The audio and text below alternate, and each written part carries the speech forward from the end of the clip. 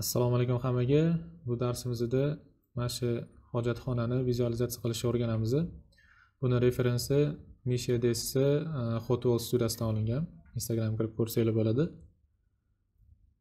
Buni pastga tushirib buni ikkinchi ekranga olib qo'yaman. Hop bizani 3d maximizda bunaqa planirovkamiz bor. Bu planga qarab turib devorlarimizni ko'tarib olsak keyin hojatxona vizualizatsiyasiga o'tib ketamiz. Hop devor ko'tarish uchun planedan foydalanamiz. Xohlasanglar box bilan xohlasanglar spline bilan ko'tarsanglar ham bo'ladi. O'zinglarga qulay variant bilan. Planeimizni chizib olamiz. Segmentlarini bir qilib olamiz hammasini. И buni ustiga edit poly tashlab ikkini bosib edge rejimiga o'tib turib shift bilan extrude qilib ketamiz. Har bitta точкаga snap qilib extrude qilib ketaveramiz. И yonidagi devorlarni cheti chiqib qolsa bu yoqqa ham bitta bittadan segment qoldirib ekstrakt qilamiz.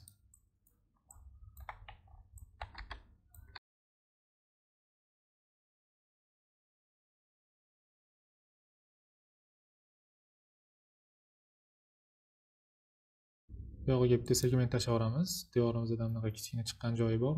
Bu eshik qo'yayotgan paytimizda eshigimizni chetiga ramkasini to'sish uchun qo'yilgan. Bitta insert bilan segment tashlab yuborsak aşağı burchagini ham ekstrud qilib yuboramiz. Shift bilan tortib snap bilan to'g'irlab qo'yamiz. Bu yoq tarafda ham xuddi shunaqa narsa qilamiz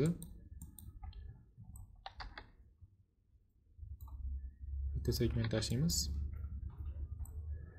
И snap bilan mana shu burchaga qo'yib qo'yamiz.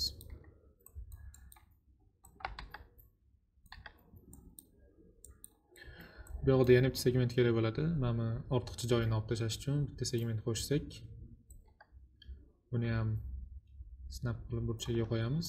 To'g'ri bosib turib poligon rejimida o'chirib yuborsak bo'ladi. Hop perspektivaga o'tib olamiz devorlarimizni tekshirib chiqamiz hammasi to'g'ri chiqdimi? И bu yoqdagi bitta poligonni olib tashlasak ham bo'ladi. Bu yoqqa unitazimizni installyatsiyasini ishga olib tushadi faqat bu yoqqa yana bitta segment qo'shib olishimiz kerak. Ikkini bosib turib bitta segment qo'shamiz. Bu yerda installyatsiyani bu yerda installyatsiyani ishga tushgan paytda e, bu yoq tarafi ko'rinmaydi. Shuni hisobiga faqat bu yoqgacha mana shu burchagini o'zi kafil bo'ladi. Shuni hisobiga bu yoqqa segment tashlab qo'ysak flor generator tashlayotgan paytimiz qulayroq bo'ladi. Bu yoq tarafidagi segmentlarni ham tochkadan tortib turib bu yoqqa sinab qilib qo'yamiz. Endi buni ustidan shell tashlaymiz modifikatorni uch yuz yigirmada qilsak и pastiga tushib turib straightni corner degan joyi bor. Shu yoqqa bittacha qo'yib qo'yamiz. Agar devorda bunaqa xatoliklar paydo bo'ladigan bo'lsa buni ustidan smooth modifikatorni tashlaydigan bo'lsak o'zi to'g'irlab beradi. Ho'p mana devorimizni qo'yib oldik. Hammasi tayyor bo'ldi. Endi buni floor generator tashlash uchun Э, devordagi poligonlarni bitta chiqib chiqishimiz kerak. Ustidan bitta edit poli tashlaymiz poligonlarni tanlaymiz har bittasini alohida deta chiqib chiqamiz. Agar buni deta chiqmasdan turib edit e, flor floor generator tashlasak unda xato bo'lib maksimum otib yuborishi mumkin o'shanga. Har bittasini alohida detach qilamiz. Detach boshlaymiz и detach esklonni e, yoniga птичка qo'yib turib ok bosamiz. Har bitta poligonni mana shunaqa qilib chiqamiz. Detach qilayotgan paytimizda faqat kerakli joylarni qilamiz masalan shkaflar tushadigan joylarni qilmasak ham bo'ladi. U shkafni orqasida qolib ketadi. Shuni hisobiga bu joylari shart emas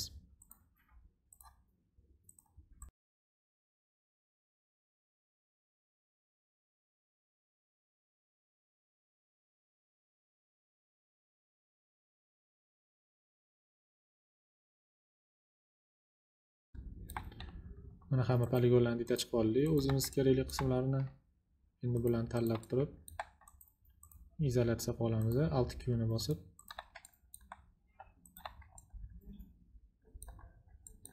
Alt qni bosamiz. Bularni hammasini tanlab turib ustidan endi flor generator tashlasak.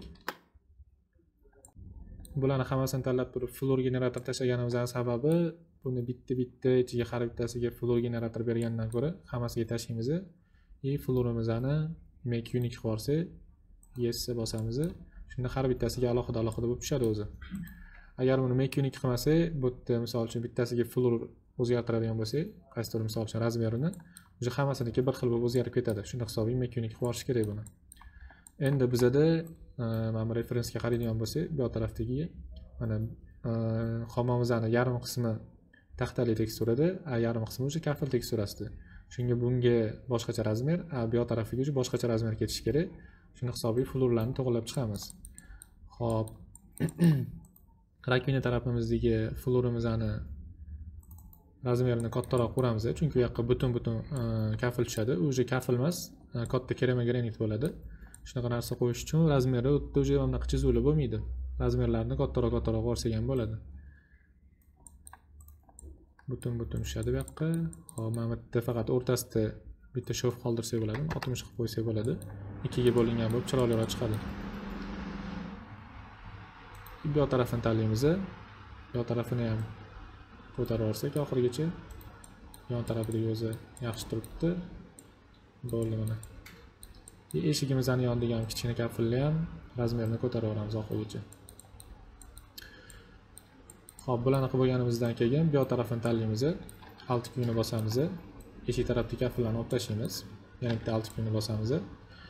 Bu yoqqa уже alohida e, razmer berishimiz kerak, chunki bu yoqqa 60 oltmish 60 kafil tushadi. Shuni hisobiga hammasini razmerini 60 oltmish 60 qilib chiqamiz. hop bu yoq taraflarini tanlaymiz. yondagi ham kichkina joylarni ham qoldirib ketmaymiz bularni ham 60 oltmish 60 qilib ketsak hop bu tarafini ham 60 60 qo'yamiz. и yon tarafini. Bularni hammasini to'g'rilab oldik. Faqat mana bu o'rtadagi kapilimizdan ozgina kattaroq qilib ancha yaxshiroq chiqadi. Buni 90 qilib ko'ramiz и pastki qismini ham 90 qilib ko'ramiz. Xo'p, agar mana bu chiziq o'rtasiga tushmaydigan bo'lsa, bu razmerni ozgina kichkinaroq qilsak bo'ladi. Masalan, 75 qilsak, o'rtasiga tushar ekan. O'rtasiga tushirib olganimizdan keyin unhide all qilamiz.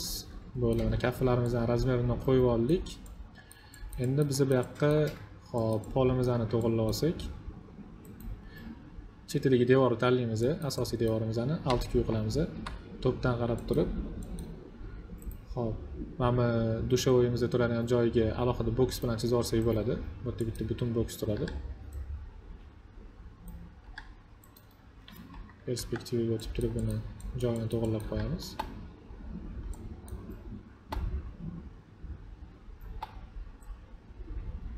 pastga sinab qilib qo'ysak. Buni razmerini taxminan 10 sm qilsak menimcha yetsa kerak. Agar mabodo kamlik qiladigan bo'lsa yo ko'plik qilsa edit poli bilan to'g'irlayveramiz uni. Muammo yo'q unda hop razmerlarini tekislab qo'yamiz. Yuz qilsak tepaligi bir yuz ellik turibdi. Bo'ldi. Endi yana to'pdan qarab turib. Hop splaynlar yordamida liniyani tanlab turib polimizni qolgan yarim qismini chizib olamiz.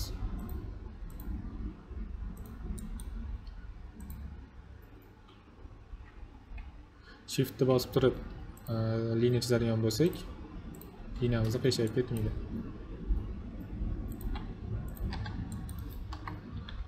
Bo'ldi mana liniyamizni ham chizib oldik. Buni eng pastga sinab qilib qo'yamiz и buni ustiga ham floor generatorni tashlasak buni ham oltmishga oltmish qilib qo'yamiz shunda chetidagi kafirlar bilan bir xil bo'ladi. Hop chetlarini tekshiramiz bo'ldi mana. Floramizni chizib oldik. Hop bu yerda ozgina xatolik bo'libdi. Laynga o'tib turib mana bu eshigimizni tagiga ham surib olishimiz kerak. Yoki o'zini hammasini boshqatdan chizib olsak ham bo'ladi buni. To'rtdan qarab turib. Line tanlaymiz bu yoqdan boshlab chizamiz. Shunda eshigimizni tagida ham kafillarimiz ko'rinib turadi.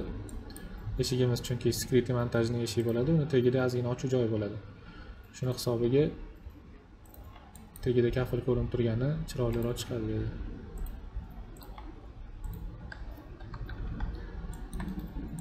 Mana z o'qi bo'yicha pastga sinab qilib qo'ysak buni ustidan flor generator tashlasak bo'ladi endi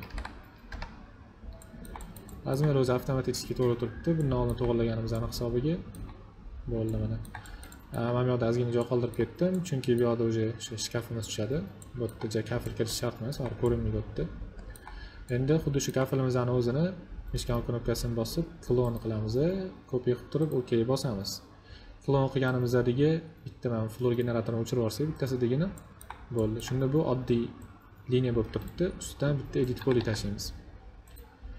Edit poli tashlaganimizda mana bizada kafilimizda ko'rayotgan bo'lsanglar o'rtadan bunaqa oq chizib o'tgan o'sha narsani effektdan chiqarib beradi. Ho'p u playnimizni yaqinroq kelib turib z o'qi bo'yicha ozgina ko'tarib qo'ysak. Mana kafilimizni orasida ozgina bunaqa ko'tarilib turibdi. Bilsanglar kafil qo'yil e, terilgan paytda shunaqa orasini to'ldiradigan narsasi bo'ladi. E, mana shunaqa plain bilan to'ldiradigan bo'lsak biza ham realistichniroq chiqadi ancha. Bo'ldi mana endi unhide all qilamiz. Ho'p devorlarimiz почти tayyor bo'ldi. Endi bunga material editor kirib turib materiallarimizni berib chiqsak. Hop bu yerda qisman tayyor materiallar bor ekan bularni o'chirib yuboramiz noldan hammasini berib chiqamiz birinchi bo'lib legacy materialni olamizda ctrl a qilib turib hammasiga berib yuboramiz bo'ldi sekin davom ettirib ketamiz Xo'p, birinchi bo'lib rakina tarafdan boshlaymiz. Bularni hammasini tanlab chetlari bilan и eshik taraflarini ham tanlab olsak. Bunga alohida bitta logisin beramiz. Sizlarda Corona MTL bo'lishi mumkin. Bu Corona 8 bo'lganini hisobiga e, yangi koronada Legacy MTL и Physical MTL bor. Hozircha Legacy ishlataveramiz. Sizlar tushunishingizga ham osonroq bo'ladi. diffuz kollarga Corona bitmap tashlaymiz. hop bu yerda mana ishlatilgan o'zini teksturasi bor open qilamiz hozir bu yerda nastroykalarga chuqurlashmaymiz yorug'lik qo'ygandan keyin настройка qilib chiqamiz materialni tanlab turib a harfini bosamiz yoki mana bu yerda assign material to selection degan narsa bor o'shani bosib qo'ysak ham bo'ladi. Hop materialimiz tushdi. Endi buni e, uv maplarni to'g'irlab chiqishimiz kerak. Ozgina xatoliklar ketib qolgan bo'lishi mumkin. Uw map beramiz. Boxga o'tkazamiz alt qni bosib olsak yana ham osonroq bo'ladi. Hop unhide all qilamiz. Birinchi bo'lib mana shu tanlagan kafillarimizni pivotini joyiga keltirib olsak chunki detach qilgan paytimizda pivotlari har xil joyga o'tib ketgan bo'ladi. Effect pivot only center to objectni bosib qo'ysak pivotlar hammasi o'zini o'rtasiga keladi. Endi buni tanlab alt keyni bosamiz. U mapimizda birni bosib turib a ni bosib bunaqasiga aylantiramiz teksturani. Teskari tushib qolibdi bu tarafiga. И tepaga cho'zib yuboramiz. Unhide all qilamiz. Unhide all. Yo taraflarni ham tekshirib chiqamiz. Agar xato tushib qolgan joylari bo'lsa to'g'irlab chiqamiz. Hop yo'llar yaxshi. Bitta mana shu yerda xato bo'lib qolibdi. Bu yoqqa ham yuvmab bersak. Box. И bir bosib turib. Aylantirib yuboramiz buni. Ham scale rejimiga o'tib turib. Razmerlarini to'g'irlab chiqamiz. Unhide all. Hop qolgan joylari ancha yaxshi. O'rta qismini ko'ramiz. Bu yerda ham yaxshi turibdi. И bu tarafiga.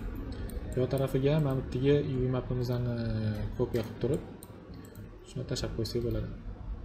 Paste qilamiz. Bo'ldi shunda to'g'rima to'g'ri bo'lgani hisobiga bunga tekis bo'lib tushadi. Bu yoq tarafini ham ko'ramiz. Bu yoqqa ham yuvmab tashlayveramiz ozgina katta yerda tuyulyapti. Yuvmab tashlaymiz. Box rejimiga o'tamiz. Alt kuyni bosib turib birni bosib endi bosib aylantiramiz scale rejimida kichikroq qilib bu yoqqa cho'zib olamiz. Agar sizlarni teksturanglar kачествоsi yaxshi bo'lmasa kichkina разрешенияda tekstura bo'lsa bunaqa cho'zmaganinglar yaxshi uni agar teksturanglar kачествоsi yaxshi bo'lsa mana shunaqa cho'zib bemalol ishlatsanglar bo'ladi. Unda hech qanaqa o'zgarish bo'lmaydi. Agar качество pastroq bo'lsa piksellar ko'rinib qoladi. Shunga ham e'tibor qilasizlar. Hop bu yoq taraflariga ham mana shundagi umapni kopiya qilib turib. Berib yuborsak bo'ladi. Bitta bitta tashlaymiz paste. Yon tarafini tanlab turib paste qilamiz. Bo'ldi razmerlar hammasi to'g'ri tushdi. Endi bu yoq tarafdagi dushovoy tarafdagi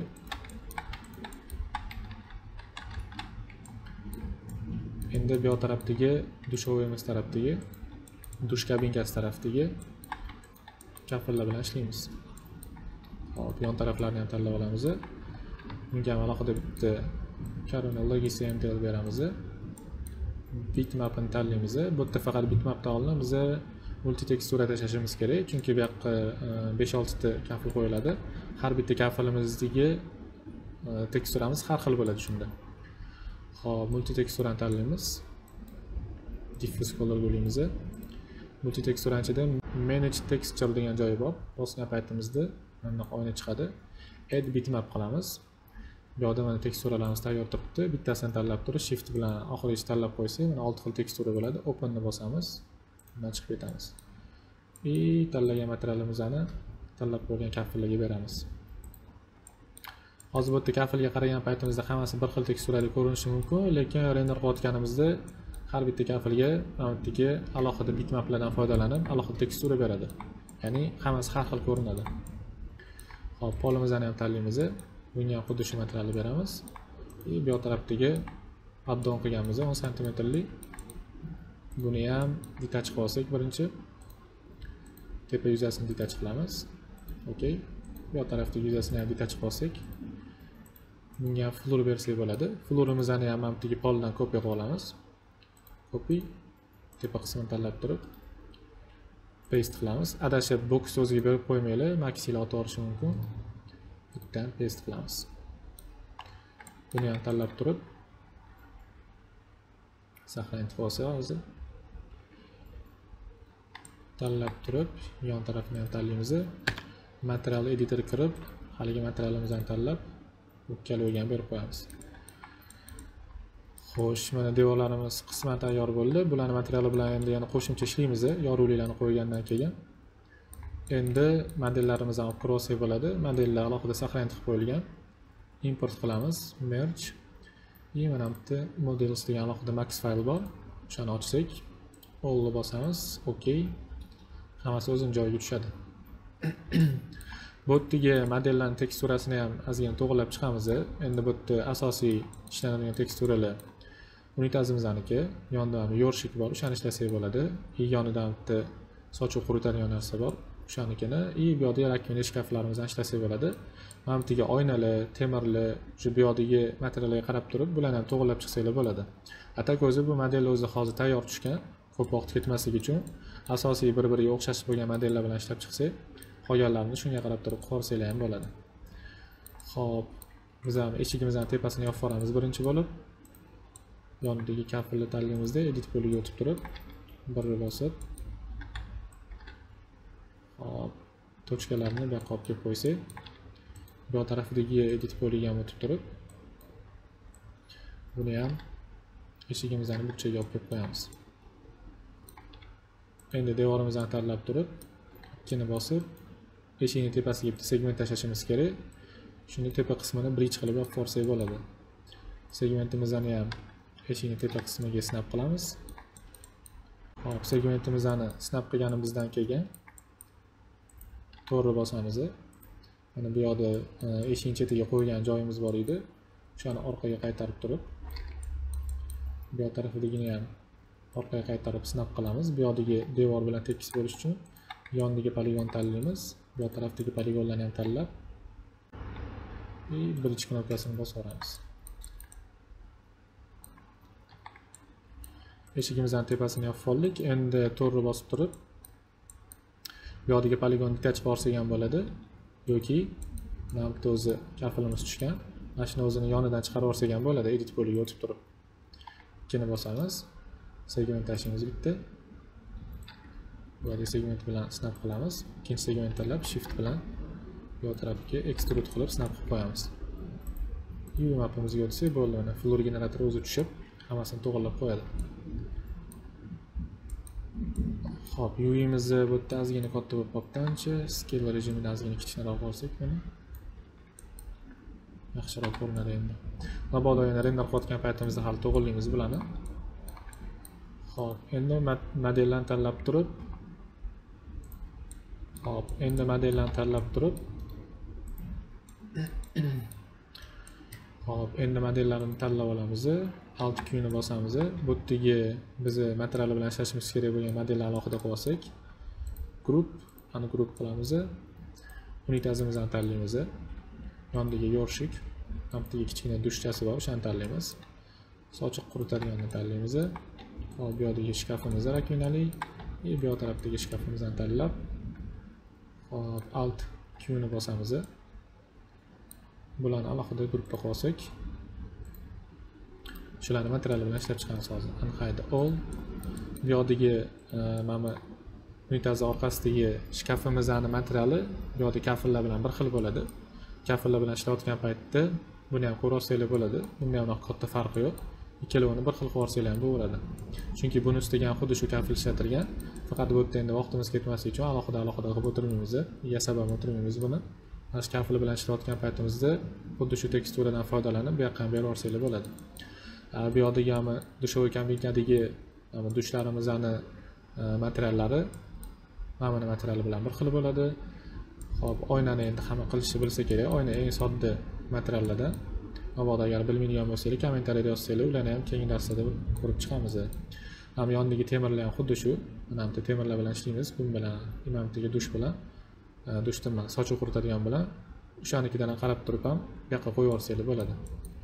Vaqt ko'p yo'qotmaslik uchun asosiylari bilan ishlasak bir biriga o'xshaganlari bilan qolganini shunga qarab turib qilib bo'ladi. Alt kuyini bosamiz gruppani ungrupp qilib yuboramiz ochib yuboramiz hammasini. Hop shkafimizdan boshlaymiz material editorga kiramiz bularni hammasini tanlab turib bularga oddiy corona logisi mtl yoki o'sha corona mtl o'zini berib qo'ysak bo'ladi. Agar corona eski bo'lsa tanlab turib a harfini bosamiz. Bo'ldi uni hammasida oddiy material bo'ldi. Hop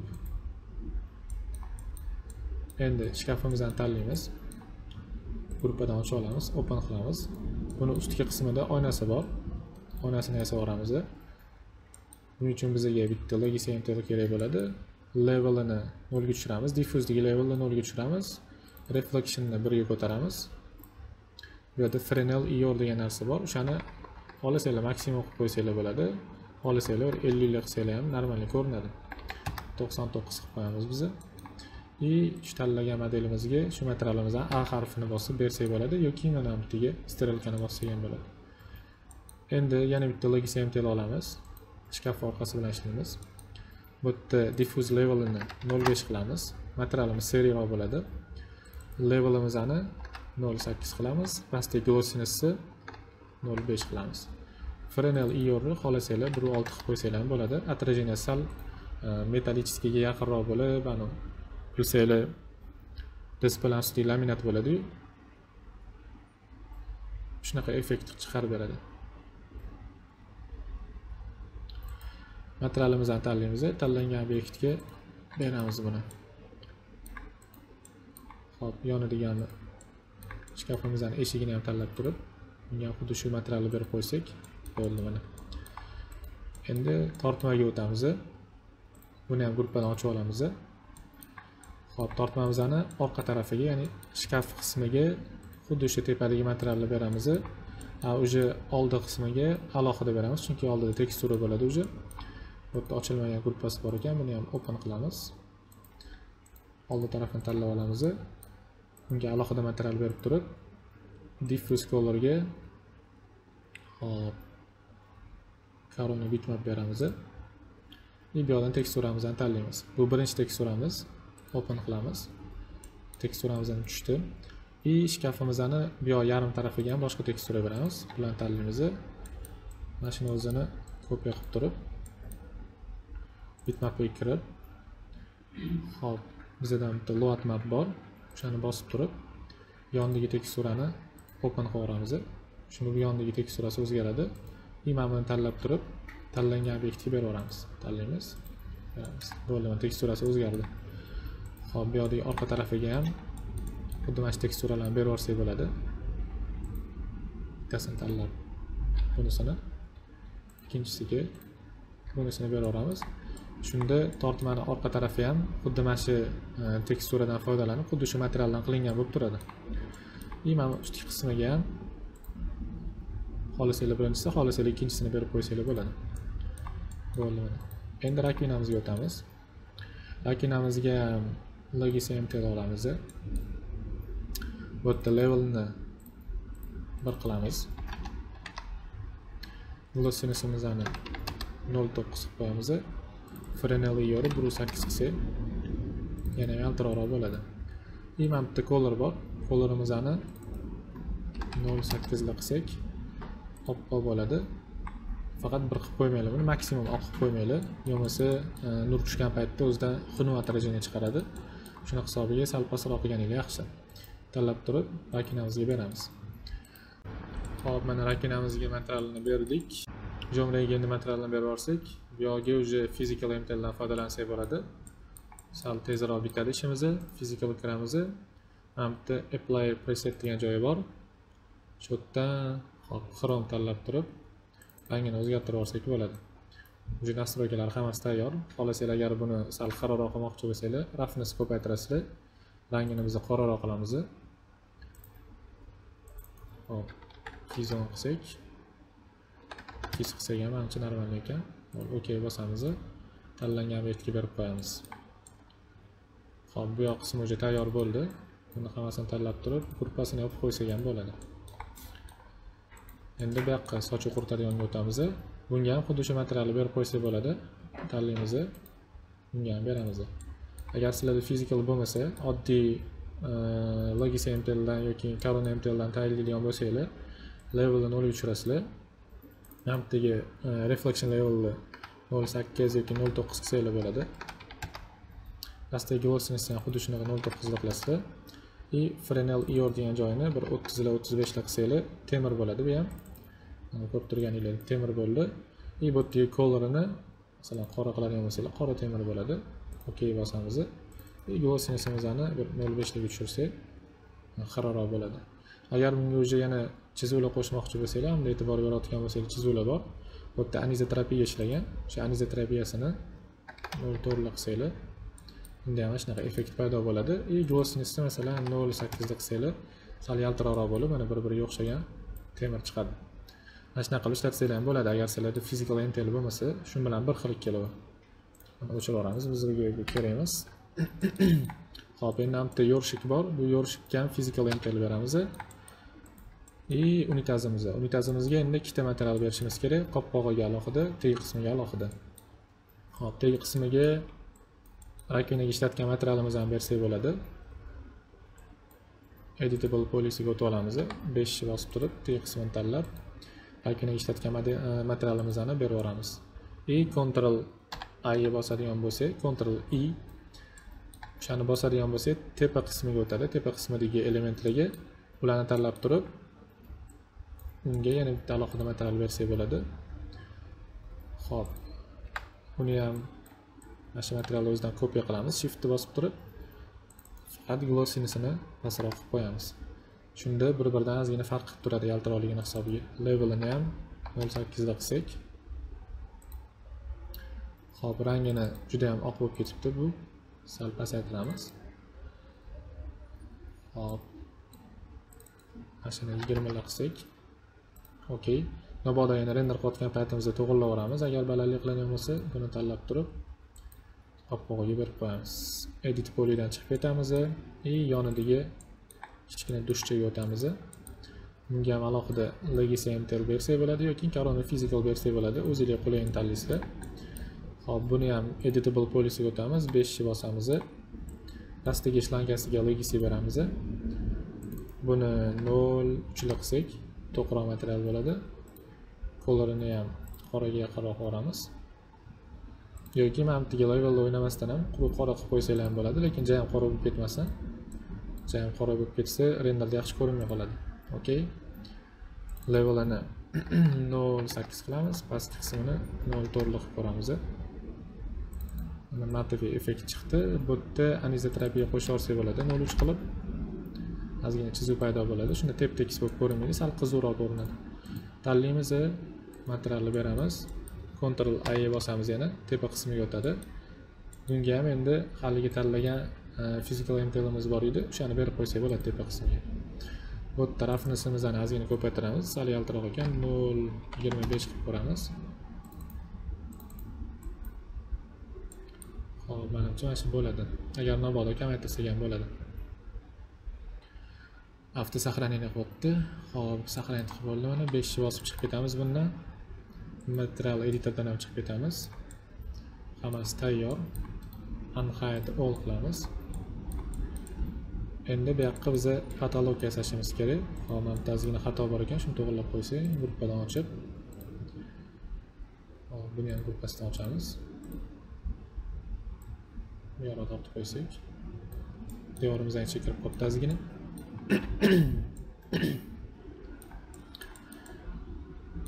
hop qolgan joylarni ham tekshirib chiqamiz. Modellarda hech qanaqa xato yo'qmi hop mana bitta ozgina kirib qolgan joyi bor ekan. Buni ham ustidan e, edit mesh berilgan ekan. Birni bosib turib o'sha qismini tanlab. Iloji boricha modellarni e, devor ichiga kirgizib qo'ymanglar. Hech bo'lmasa bir millimetr bir biridan ozgina farq qilib tursa orasi ochiq tursa chiroyliroq ko'rinadi. Yoki maksimum bir biriga tegib tursa ham yaxshi ko'rinadi но iloji boricha bir millimetr qoldirganinglar yaxshi chunki renderda baribir unaqa bir millimetr ko'rinmaydi bir birini ichiga kirib ketgandan ko'ra yaxshiroq Hop. Bo'ldi mana. Endi mana pastki qismini ham bitta ko'raveramiz. Hop, pastki qismini ozgina ko'tarib olishimiz kerak ekan. Alt kuyini bosamiz, pastki qismini tanlab, unhide all. To'g'ri ichiga kirib turib, Z o'qi bo'yicha ko'tarib yuboramiz uni Yaqinlashib ko'rib olamiz. Hop.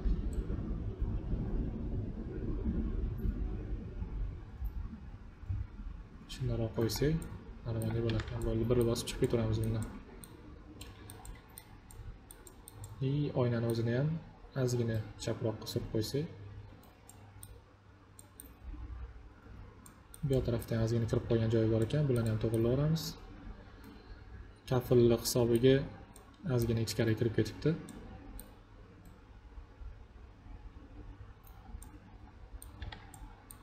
Bo'ldi mana hammasini to'g'irladik endi davom etaversak bo'ladi manimcha. Qolgan joylari yaxshi turibdi. Mabodo render qilgan paytda to'g'irlayveramiz hop bunga endi patologiyamizni yasaymiz asosiy devor tanlab alt q qilamiz to'pdan qarab turib. Patologiyamizni line bilan chizib chiqamiz. Shiftni bosib turib chizamiz.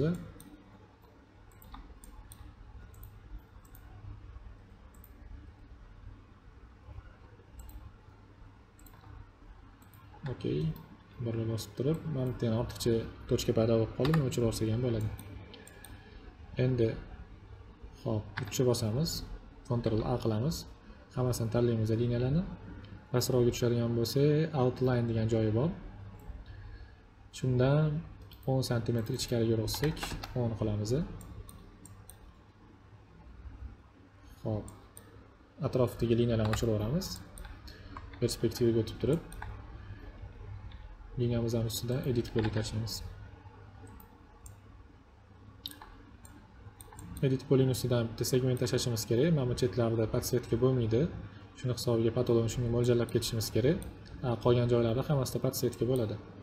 Ikkini bosamiz segmentlarni tanlab insert qilamiz. Hop insertimiz salqish uchib qoldi. R harfini bosib turib to'g'irlab bo'ladi. W ni bosamiz. Snap bilan burchagiga qo'yib qo'yamiz. Bo'ldi mana. Endi 3 bosamiz ctrl a qilamiz. Shift bilan pastga extrude qilib turib to'g'irlab yuborsak bo'ladi buni.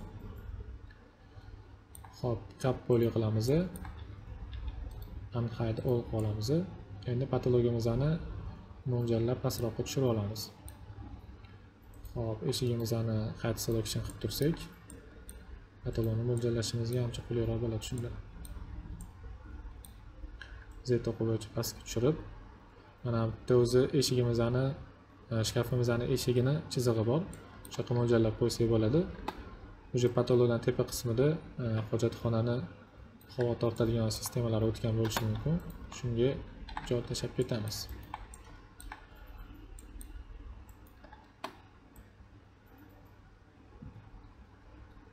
Yoqasini qilib qo'yamiz. Bo'ldi mana. Endi ikkini bosamiz patologimizni tanlab turib chetidagi segmentni tanlab shift insert qilamiz bit insertimiz yetar ekan ok bosamiz. Buni pastroqqa tushiramiz hop hayda ol qilamiz. Bizada mana bu yoq taraflarimiz yopib turishi kerak ikkita cheti. Buni kafilga teg'izib ekstrud qilib qo'yamiz ikkita chetidagi kafilni tanlab olsak patolog bilan qo'shib ishlashimiz qulayroq bo'ladi. Patalon tanlaymiz chetidagi poligonlarni tanlaymiz shiftni bosib turib extrude qilsak bo'ladi. И snap yoqib turib kafilimizga snap qilib qo'yamiz. Buni faqat ozgina kafildan qochirib qo'yamiz. Bir birini kirib qolganga o'xshab turmasligi uchun. Hop nol ikki qilsak ikki millimetrcha qochib turadi. Bu yoq tarafni ham xuddi shunaqa qilamiz. To'g'ri bosib poligonni tanlaymiz shiftni bosib turib snap qilamizda и minus nol ikki qilib qo'yamiz. Shunda ozgina joy qoladi chetida и bir birini ichiga kirib ketgan bo'lib ko'rinmaydi. Bo'ldi mana aniqaydi ol qilamiz xo'sh. Yon taraflarini ham shunaqa qilib endi u o'stirib chiqishimiz kerak. Ekstrud bilan alt q qilamiz bu yoqda bitta segment tashlagan edik. To'g'ri bosamiz poligon rejimida hamma yog'ini aylantirib tanlaymiz. Faqat mana shu ikkita chetini olib tashlaymizda shift bilan extrude qilamiz. Hop besh santimetr qilamiz buni. Local normalga o'tkazib olamiz shunda hamma yog'i tekis o'sadi. Hop mana bu tarafda ozgina ko'payib ketyapti. Buni orqaroqqa qaytarib qo'ysak bo'ladi.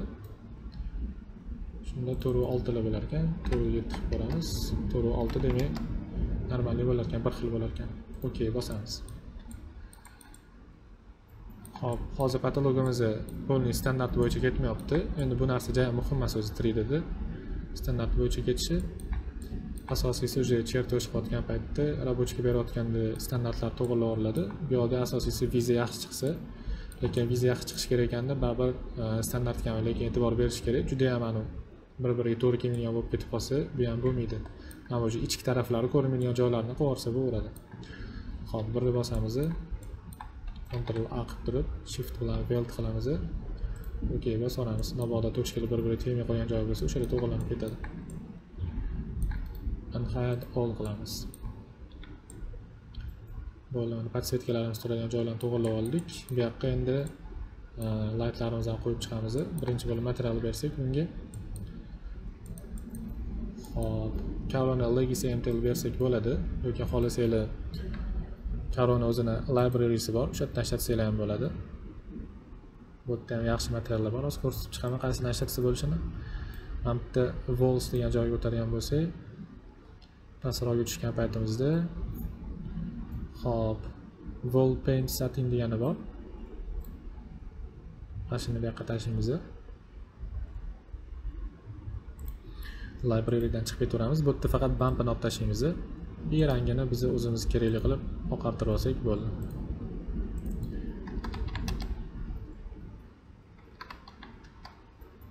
Okey bosamiz.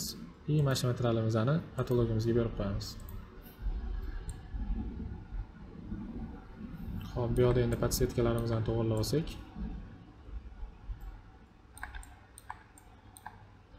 Tepadan qarab turib lightni bosamiz rektanglda turibdi o'zi rektangl bilan chizib chiqsak bo'ladi. Bir yoq tarafga light qo'yib olsak bo'ldi.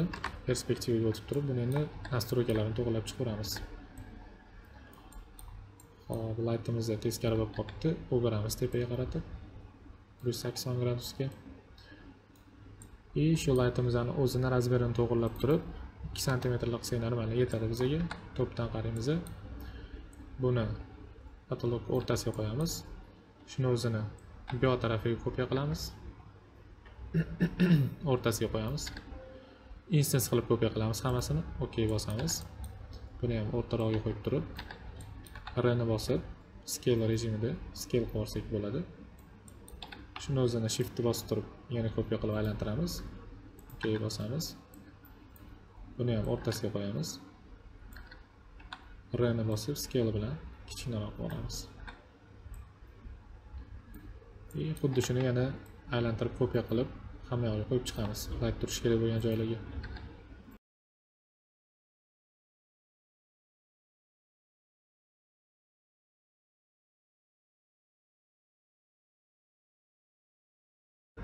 Hop buni scale qilayotganimiz sababi agar bu yoqqa har bittasiga alohida light qo'yib chiqargan bo'lsak bularni instance qilib bo'lmaydi chunki razmeri har xil bo'ladi.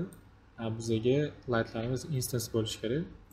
Shuni hisobiga bitta lightni o'zini instance qilib kopiya qilib mana shunaqa scale qilib yuborsak light mix qo'yib to'g'irlayotganimizda ham osonroq bo'ladi. Rni bosib yana scale qilib yuboramiz. Ozgina bu yoqqa surib yuborsak bo'ldi mana perspektivaga o'tib turib. Hop ko'rib chiqamiz to'g'ri tushganmi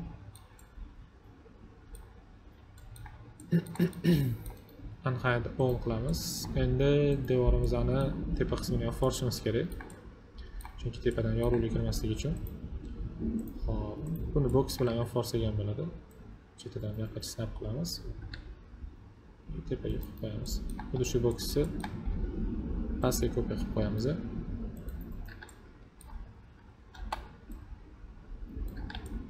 bo'ldi hop eshigimizni bitta ko'rib qo'yamiz yaxshi turibdimi hammasi joyida endi tepa qismidagi boksimizni xalaqit bermasligi uchun hop object properties degan joydan display is box qilib ok bosib qo'yamiz.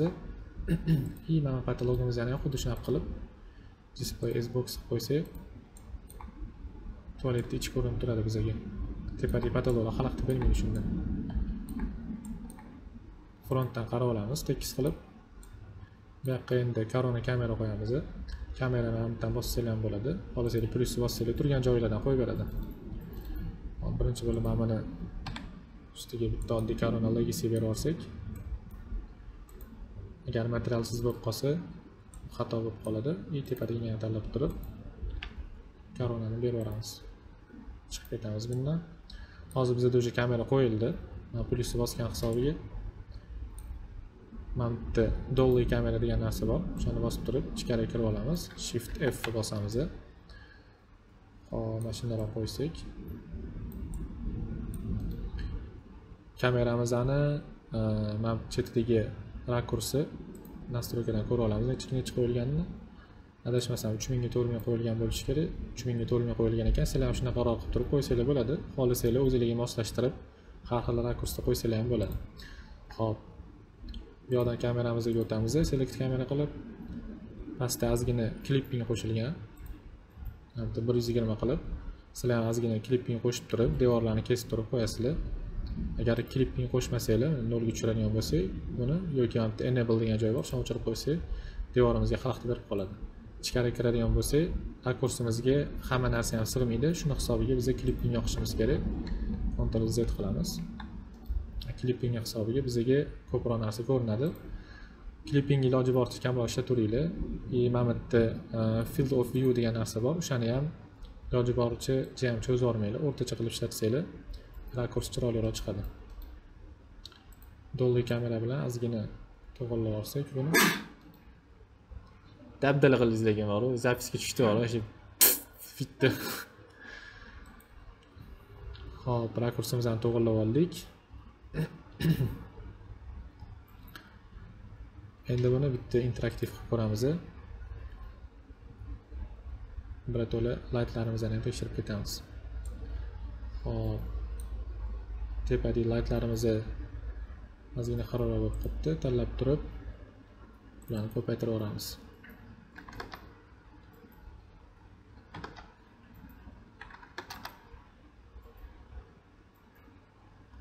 yuzlab qilsak normalniy. Faqat patologimizni chetlarini ozgina ozgina ochib chiqsak manimcha yana ham yaxshiroq bo'ladi. Laytimiz shunda ko'proq kiradi ichkariga. Hop. Interaktivimiz mana qanaqa ko'rinayotgani. Hozir bizada asosiy yorug'lik qo'yilmagan faqat chetidagi podsvetkasi turibdi. И bu yoqda shkafimizni o'zini podsvetkasi bor o'sha narsa qo'yilgan. Interaktivni o'chirib turamiz perspektivaga o'tib turib patologimiz bilan ozgina ishlab yuborsak patolog tanlaymiz object propertiesga kirib turib display s boxni o'chirib qo'yib to'pdan qarab buni ozgina ozgina surib yuborsak sal kichikroq bo'lib qolibdi. Hop avtosохранение bo'lyapti x o'qi bo'yicha minus uch santimetrdan sursak ancha normalniy bo'ladi.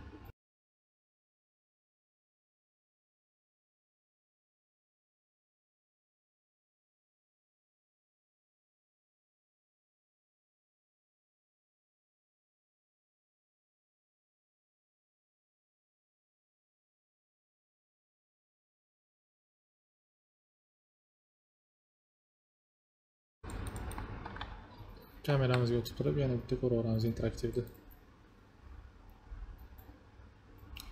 endi ozgina kattaroq bo'lgani hisobiga yorug'lik yaxshiroq kiryapti agar xohlasanglar mana shunaqa qilib kattaroq yuborsanglar ham bo'ladi lekin o'zi e, besh olti santimetr qochsa ham bemalol yetadi. Hop endi yorug'liklarimizni qo'yib olamiz yana bir marta interaktiv qilib ko'rib olsak mana bu yerda materiallar ham yaxshi chiqibdi yaxshi yaltiryapti. И bunaqasiga ham bitta rakurs qo'yib yuborsak bu yoq tarafdan qaraymiz leftdan mana bu yerga plyusli kamerani bitta bosadigan bo'lsak bizga kamera qo'yib beradi. Shift f bosib turib dolly kamerani bosib chiqarib va kirib rakursimizni to'g'irlab yuborsak bo'ladi.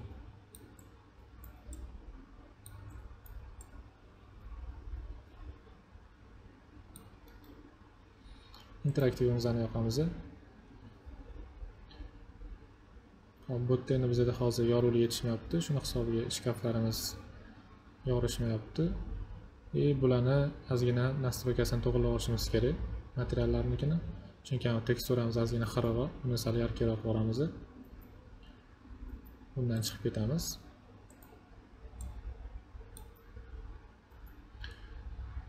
И perspektivani bosib turib. Patologimizdan tanlab alt q bosamiz.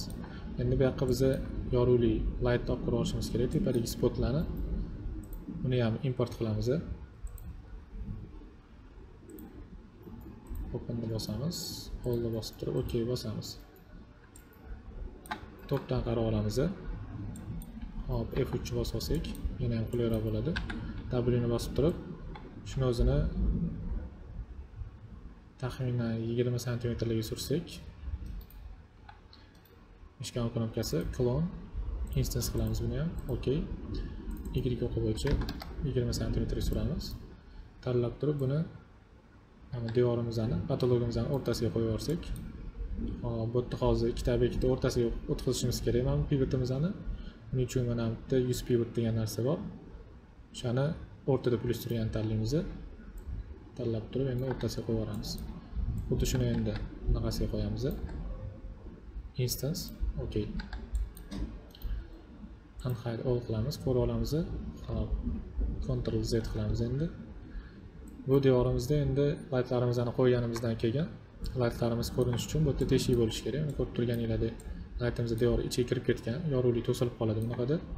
To'pdan qarab turib bu yerga teshik ochib olamiz hop silindr tanlaymiz silindrimizni chizib olsak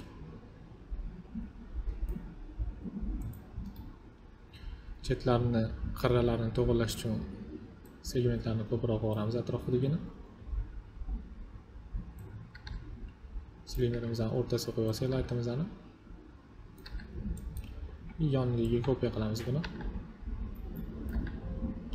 Buni ham instance qilib olsak bo'ladi ahamiyati yo'q buni qanaqa bo'lishi? Instance kopiya bu silindrlarimizni chizib olganimizdan keyin bularni boolean funksiyasi bilan teshiklarni ochib ochib chiqsak bo'ladi. Mana shu laytlarimizga moslab turib. Ok. И perspektivaga o'tib turib. Hop pastdagi hamma silindrni tanlab teparoqqa qo'yib turib. Uni razmerini kattaroq qiladigan bo'lsak hop uzunligini kattaroq qilamiz o'zinikini emas razmeri qalinligini emas. Patologimizni tanlaymiz. Plyusni bosib turib ozgina pastroq tushadigan bo'lsak mana bu yerda compound object degan narsa bor. Shu yerdan booleanni tanlaymiz pastroqda subtract degani bor. Shuni tanlab turib add bosamiz и bu yerdagi o'zimiz qo'shishimiz kerak bo'lgan obyektlarni ustiga bosib chiqamiz. Bosib chiqqan paytimizda bunaqa teshiklar paydo bo'ladi. Hop lightlarimizni teshikka mo'ljallab turib teparoqqa ko'tarib qo'yamiz. Snap bilan qo'yib qo'ysak bo'ldi mana laytlarimiz tushdi. Bu layt o'zi tayyor. Sizlar bunaqa e, foydalansanglar bo'ladi. Tayyor modellardan. Unhide all qilamiz.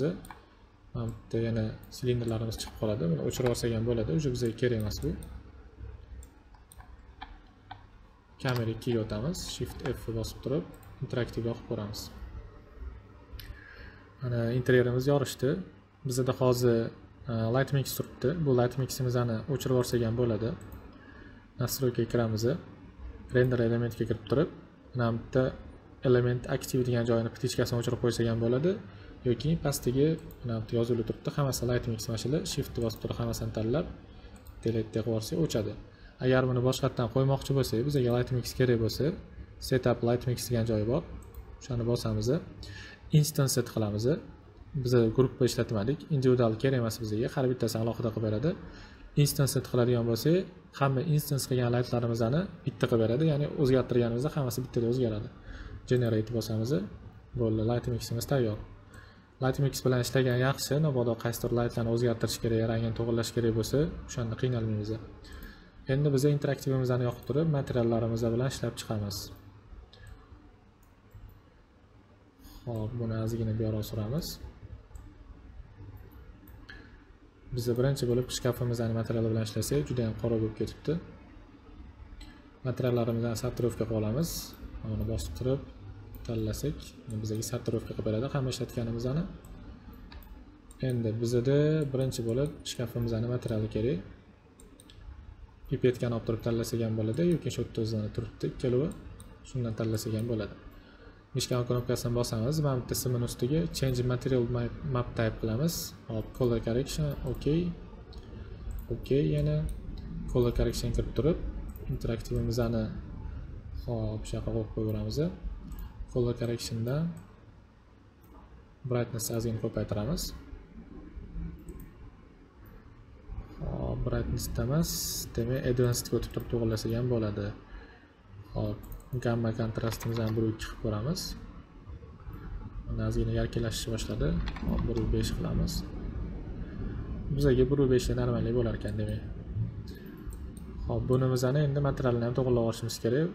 Material editoriga o'tamiz. Hop reflectionni bir qilamiz. Pastda glossinusimizni pasaytiramiz. Nol yettili qilib ko'ramiz. Hop mana materialni o'zidan ko'rsak bo'ladi. Qanaqa yaltiroqlik ketayotganini hop mana shunday qoldirsak manimcha normalniy endi color correction o'zini kopiya qilamiz. Color correction kirib turib saturationni oxirgi nolga tushirib turib buni reflection glossiness belgimiz glossiness ulashimiz bilan bu yana xiralashib qoladi. Buni to'g'irlash uchun pastdagi glossinessga tushib turib buni ellik yoki o'ttiz qilib qo'ysak yana ozgina e, yaltiroqlik paydo bo'ladi. O'ttiz qilsak manimcha normalniy bo'lar ekan. Bo'ldi mana endi buni xuddi mana shu color correctionni pastga tushirib turib yana kopiya qilib bampga ulab qo'ysak bo'ladi. Bampimizni jayam baland qilmaymiz. Buni ham настройкасini pastroqdan to'g'irlab yuborsak bo'ladi.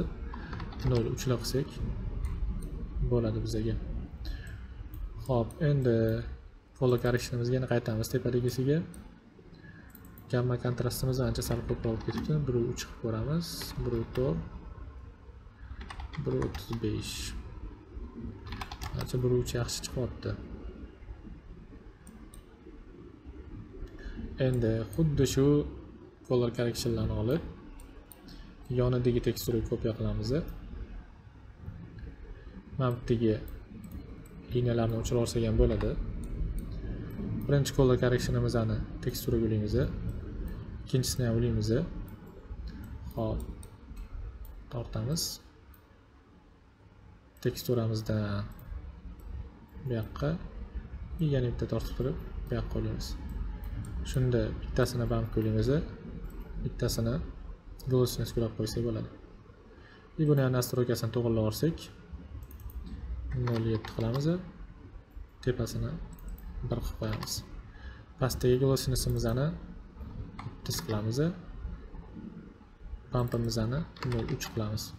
Shunda mana hammasi bir xil chiqdi. Xo'p, endi bu yerda yana bitta настройка qo'shsak bo'ladi.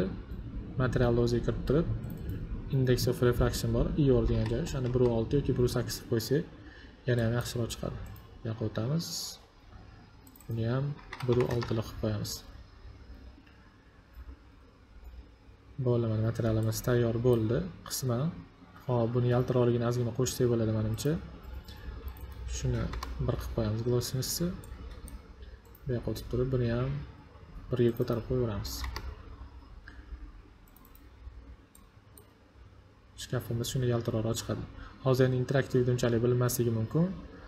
Уже render qilayotgan paytimizda yaxshi chiqadi renderimiz ho'p endi devordagi teksturalar bilan ishlaymiz. Buni ham pipetka bilan tanlaymiz. Teksturamizni teparoq ko'tarib olsak buni. Ho'p. Botga color correction tashlaymiz pastroqqa tushadigan bo'lsak koronaniki bor. Xohlasak e, max o'zini general bor. O'sha bilan ishlasak ham bo'ladi. Tortib turib o'rtasiga tashlaydigan bo'lsak color correction tushadi. Buni endi advancedga o'tamiz. Ho'p bizada bu yoqda ozgina saruvroq bo'lib ketibdi. Buni saturation bilan to'g'irlasak manimcha shuni o'zi yetar ekan.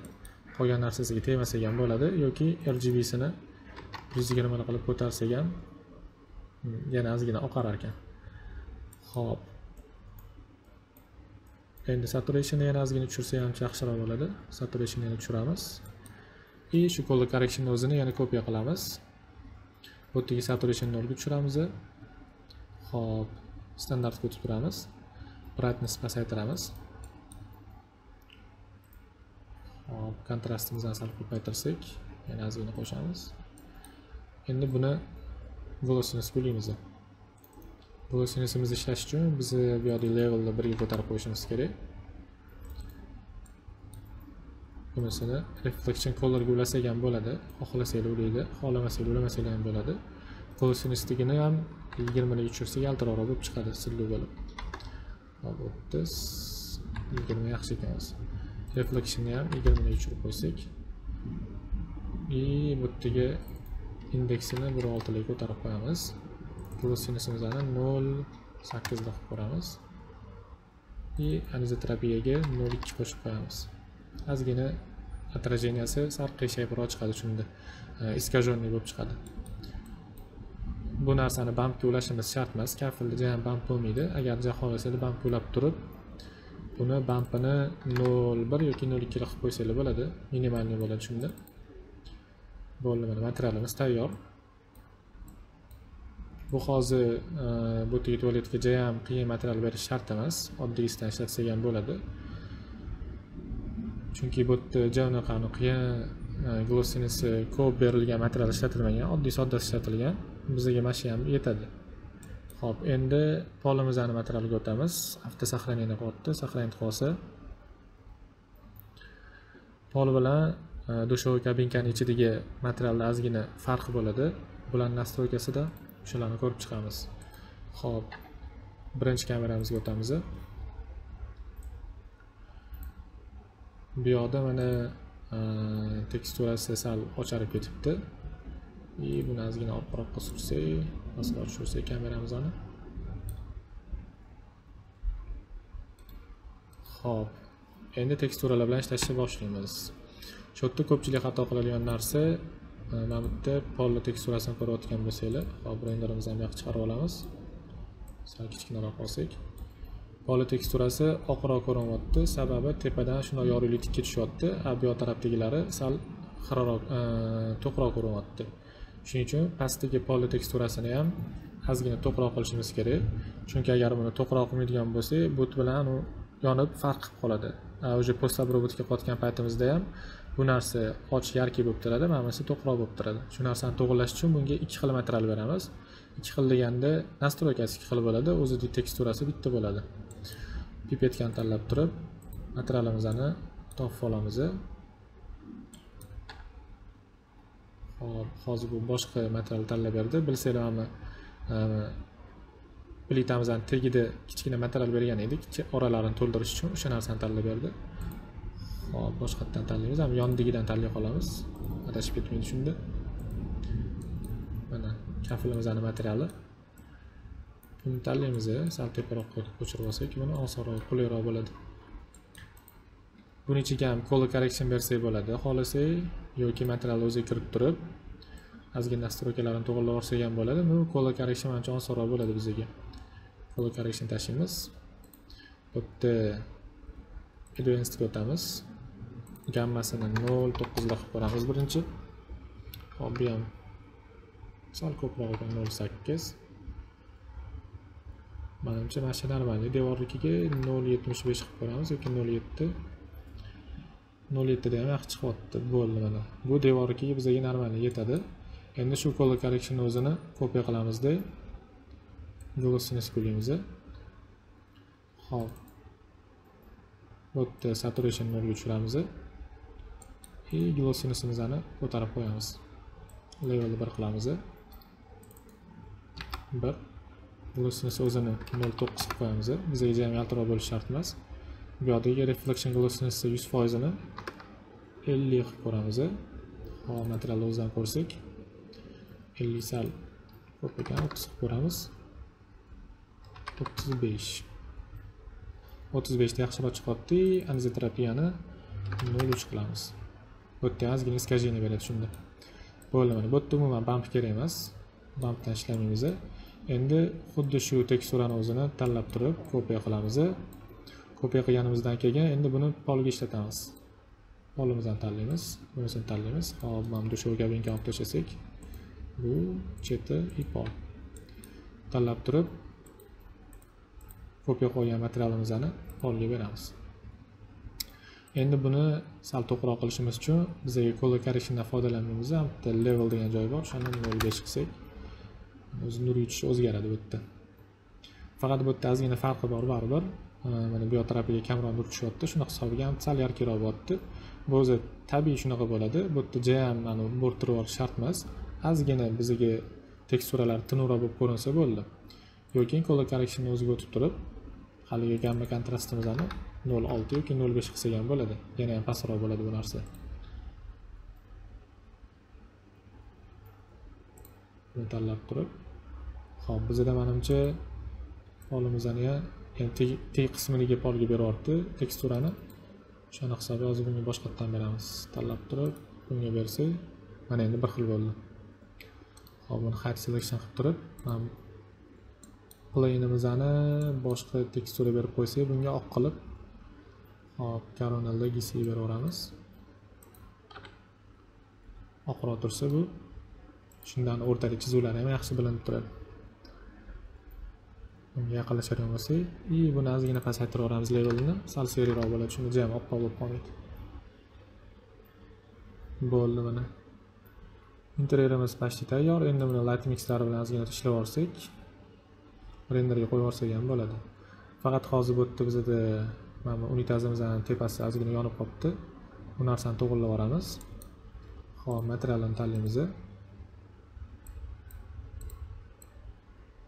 raqamni olsak hop materialga kiramiz bunisini ko'ramiz mana manimcha mana bunisi ekan buni levelini nol sakkiz qilib qo'ysak yonishi pasayadi yana ham pasaytiramiz nol besh mana ketdi tepada yonishi ya'ni bu e, levelni qancha pasaytirsak shunchalik yonib turgan effekti yo'qoladi. Hop light miximizga o'tamiz. Bizada vire light ekan. Nomlanishi buni ikki qilib qo'ysak bir yarim bir yarimga normalniy bo'lyapti hop buni ham bir yarimga ko'tarsak bir ikki bir bir ikki yaxshi ekan. Puli kerak emas environment rest degani ham kerak emas. Corona light bu уже подсветкamiz mana ham подсветкamiz buni ham bir beshga ko'tarsak teparoqga chiqib ko'raveramiz mm, bo'ladi normalniy kameramizni to'g'irlab yuborsak bo'ldi mana interyerimiz ham tayyor bo'ldi. Shuni endi renderga qo'yib yuborsak. Xudo xohlasa bo'ldi. Bu yerda post обработкani endi xudo xohlasa keyingi darsda o'tamiz asosiy post обработка endi bu yerda korona sakkizda bo'lganini hisobiga korona sakkiz to'g'risida alohida bitta video chiqaramiz o'shanda yana ham tushunarliroq bo'ladi. Post обработкада ham unaqa katta narsa ishlatilmagan. Asosiysi kontrast ko'tarilgan. И saturation ozgina pasaytirilgan. Keyin korona sakkizda excess ot degan narsa chiqqan. Bu narsani yoqmasanglar ham bo'ladi. Unaqa katta effekt bermaydi. Bu ham minimal ishlatilgan. И highlight compressor bir on qilingan bo'ldi keyin vinet degan narsa bor chetini qoraytiradigan mana shu chetidagi effektni chiqarib beradi bu narsa korona olti yettilarda ham bor shuni ishlatsanglar ham bo'ldi qolgan narsalar уже ishlatilmagan faqat kontrast asosiysi saturation и mana shu highlight compressor. Qo'shadigan bo'lsanglar xohlasanglar lutlardan foydalansanglar ham bo'ladi